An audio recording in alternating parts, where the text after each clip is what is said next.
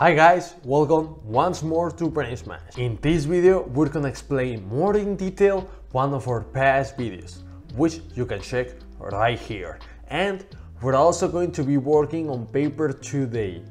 I want you all to enjoy the video and subscribe. So let's start.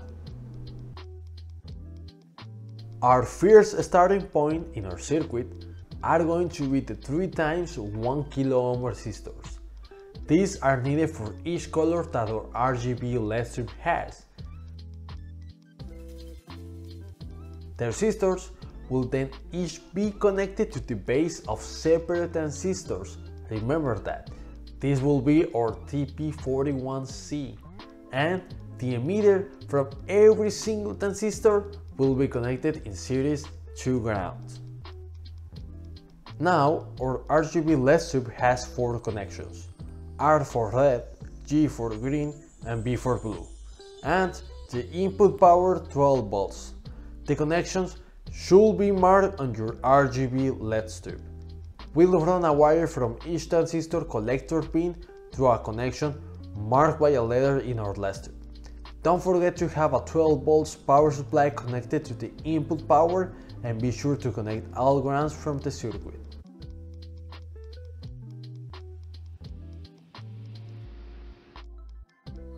In Arduino, connect digital pin 11 to the resistor that is linked at the red color in your LED strip. Now, repeat the same for digital pin 10, but this time for the green color and digital pin 9 for the blue color. I have my resistors and transistors connected, but I still need to run a wire from emitter to ground. And I still have to include my LED strip. I have a couple of wires connected to each of my inputs, R, G, B and 12 volts. We connect the color inputs to the transistors collector. It doesn't matter to which transistor you connect each cable right now, as long as there is just one per transistor.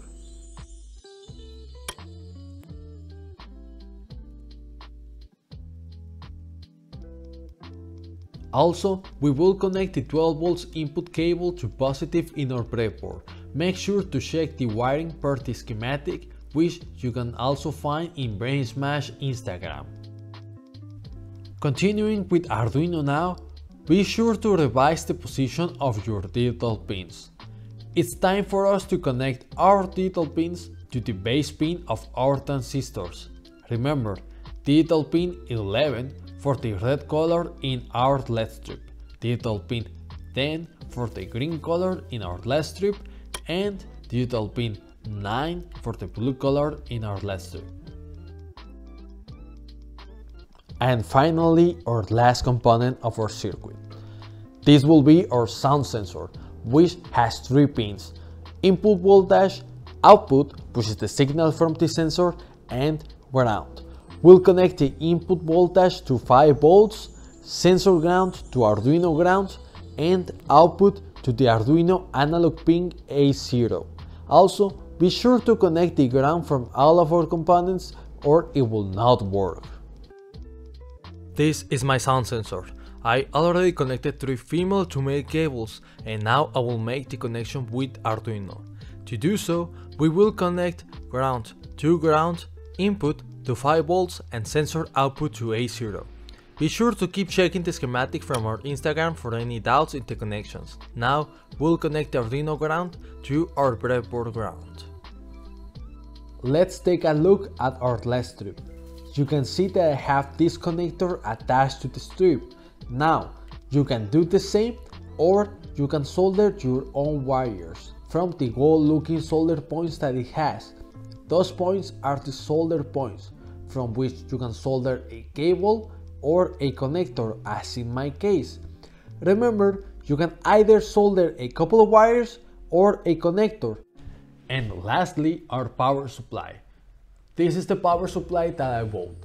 It's a variable power supply that varies from 3 volts up to 12 volts and it has this nice connector at which I can screw a couple of wires to it. I can make it a really nice breadboard friendly power supply. Pretty useful. Now, connect your 12 volts power supply to positive in your breadboard. This is where we connected our 12 volts let's strip input power previously. Time to verify the connections. This will save us a lot of troubles when we finally power up our circuit.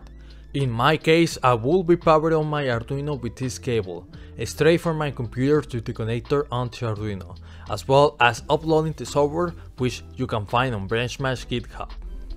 Connect your Arduino and see the lights go on.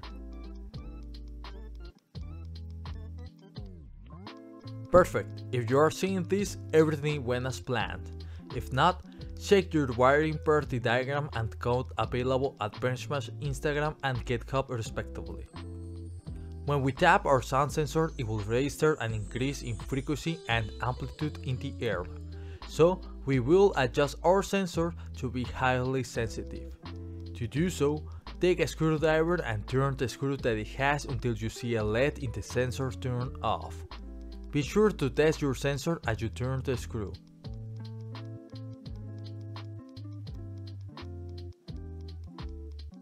I think the sensor is sensitive enough now, so instead of tapping, we're gonna try with some music.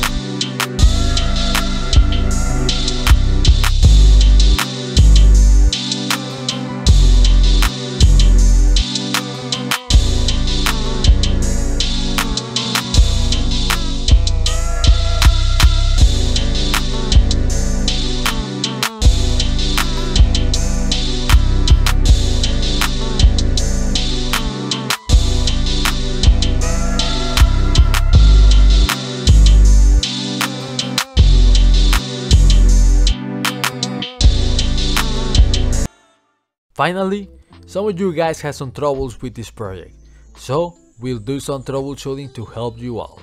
First, if the strip is only on red, then check the cable from the sound sensor. Make sure to connect them according to the diagram found on Brain Smash GitHub and Instagram. And revise your LED strip wiring too. As you can see, simply by switching the input voltage cable from 5 volts to ground can make the LED strip turn red Putting the cables as they correspond will fix this problem.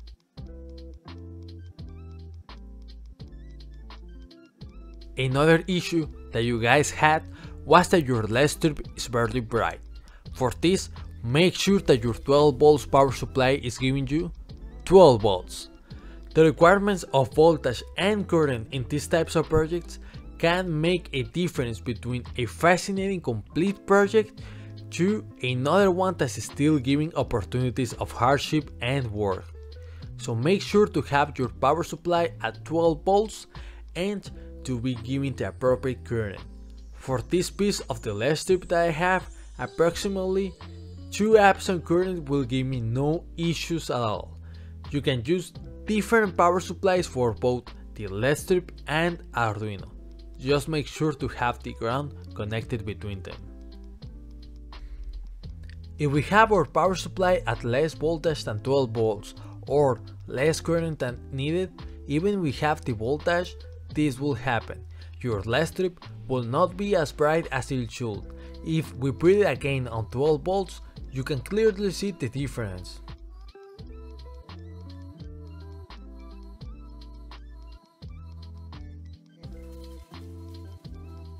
We hope that you have liked this video as much as us. And if you did, please like, subscribe, and don't forget to put your comments down below. We value all of them and we read every single comment that you guys leave. So please, guys, remember, stay safe, stay happy, and brain smash out.